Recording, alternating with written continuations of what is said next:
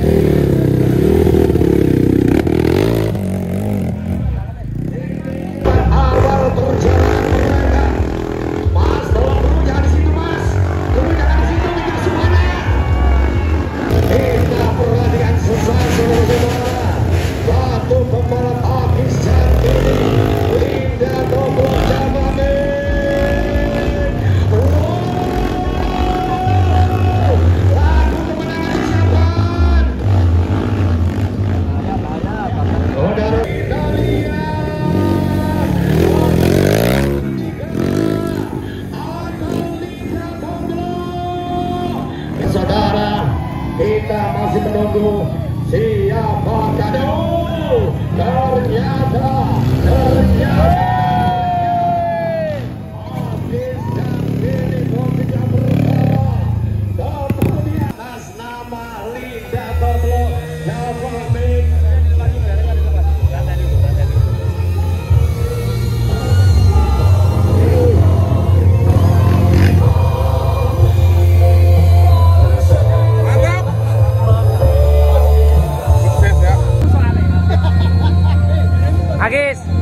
Selamat ya. Oke, gimana komentarnya tadi res tadi? Wih, mantap ini. Tadi aku sempet main sama. Terus sama juga buat kemenangan kedua jadi ya. Ya. Terus komentarnya tentang event kali ini gimana?